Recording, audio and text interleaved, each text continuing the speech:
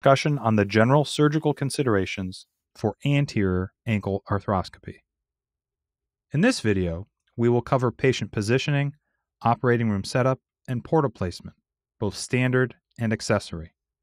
Let's first look at the applications for performing ankle arthroscopy. Glazebrook and colleagues performed a comprehensive review of the literature for indications for ankle arthroscopy. These include, but are not limited to, impingement, both bony and soft tissue, osteochondral lesions, ankle arthrodesis, loose bodies, ankle instability, septic arthritis, arthrofibrosis, ankle osteoarthritis, synovitis, and fractures.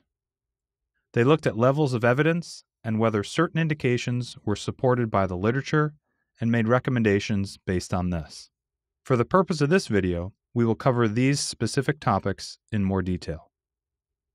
An example of bony impingement is an anterior tibio-talar spur caused by chronic ankle instability, secondary to blunt trauma, or a combination of both. Soft tissue impingement, commonly seen in the anterolateral portion of the ankle, can have many causes. Impingement of the distal fascicle of the anterior inferior tibiofibular ligament can cause abrasions on the talus. Osteochondral lesions of the talus are a pathologic condition that affect the articular cartilage and subchondral bone. Arthroscopic ankle fusion can be indicated for many reasons, including for patients who have symptomatic end stage ankle arthritis and those who are unresponsive to conservative treatment. Loose bodies can be associated with other pathology. Here, a grasper is used to remove a piece of cartilage. Anterior and anterolateral ankle impingement is one of the most recognized indications for ankle arthroscopy. Techniques to assess and treat ankle instability can be performed for the assessment and stabilization of the ATFL for arthroscopic diagnosis of syndesmosis instability and assessment of adequate reduction and assessment of deltoid instability.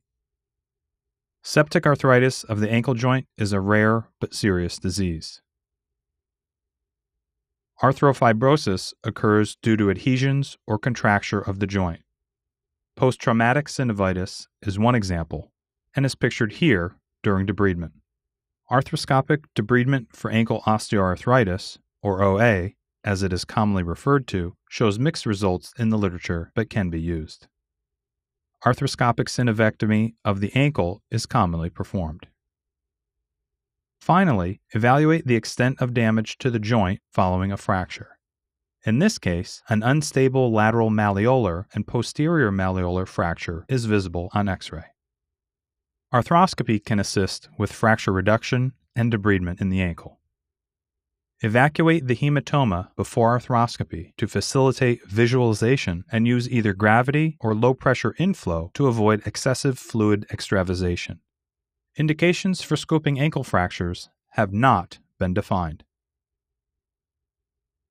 Now, we'll move on to patient positioning, operating room setup, and standard and accessory portal placement.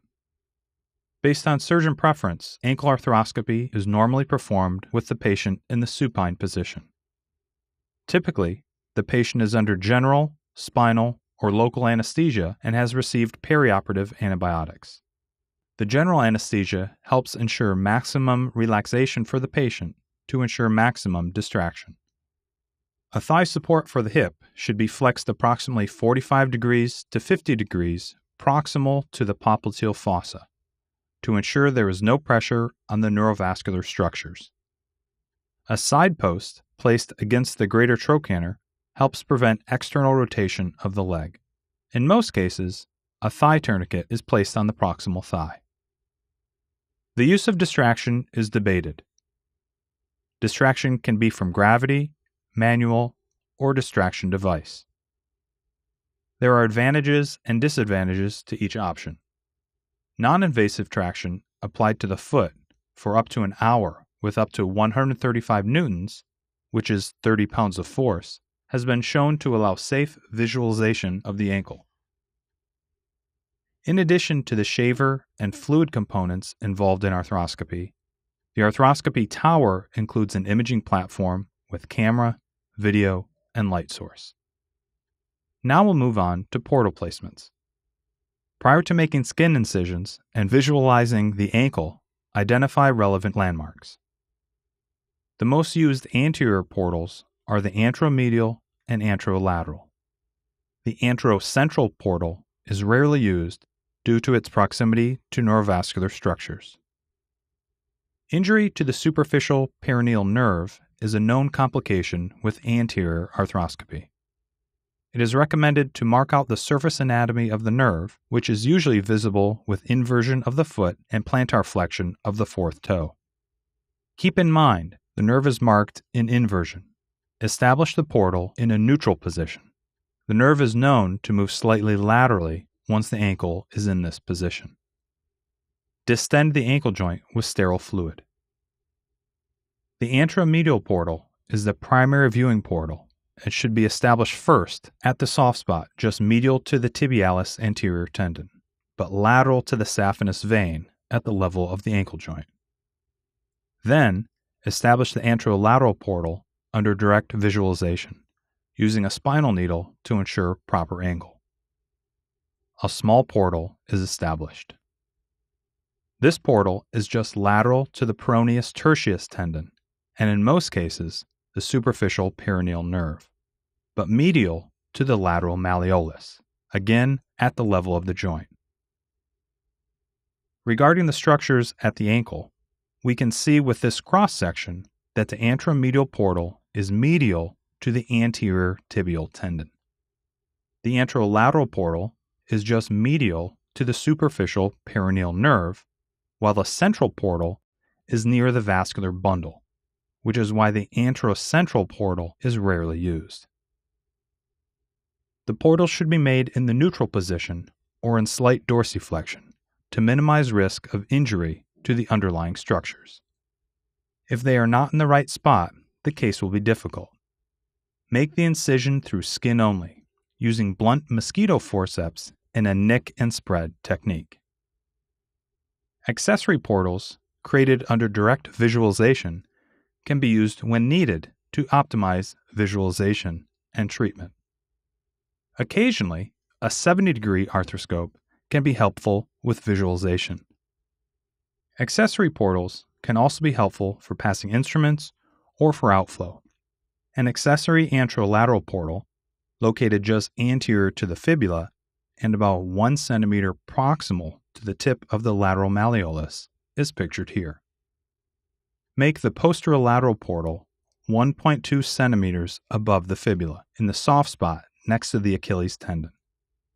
To establish the posterolateral portal, an 18 gauge needle is angled underneath the transverse ligament and through the notch of Harty and visualized through the anteromedial portal.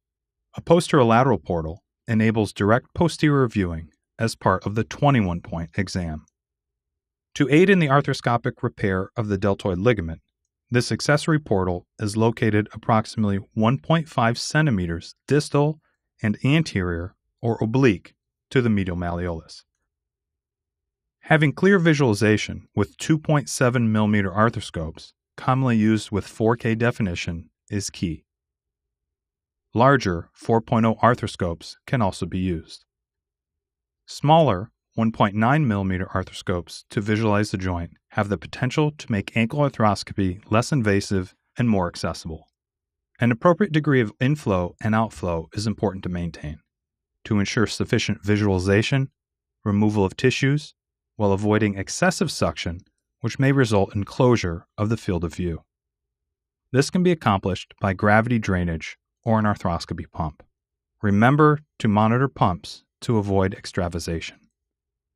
Appropriately sized handpieces can be used to introduce instruments into the joint. Additionally, hand instruments like graspers and rasures provide access into the arthroscopic environment when more aggressive tissue removal is warranted. Regarding instrumentation, small percutaneous instruments can be used, including chondral picks, osteotomes, cup curettes, ring curettes, elevators, and probes. Finally, let's discuss examination of the ankle joint.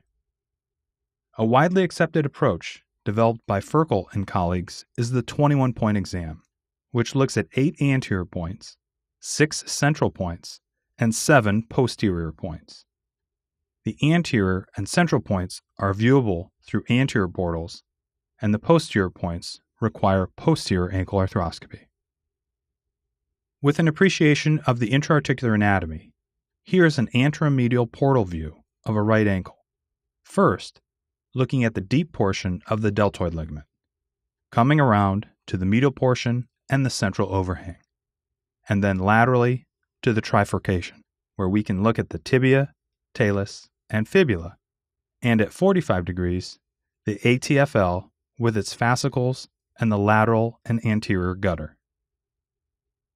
To go from anterior to central, we use the notch of Harty and this tunnel, which allows moving the instruments and scope safely without damaging the cartilage surface, for a more posterior view.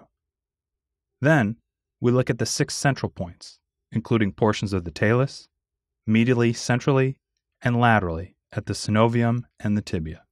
Then posterior to look at the PITFL, the transverse ligament, and the capsular reflection of FHL. If necessary, experienced surgeons can use a posterolateral approach to further assess the posterior structures and complete a 21 point exam.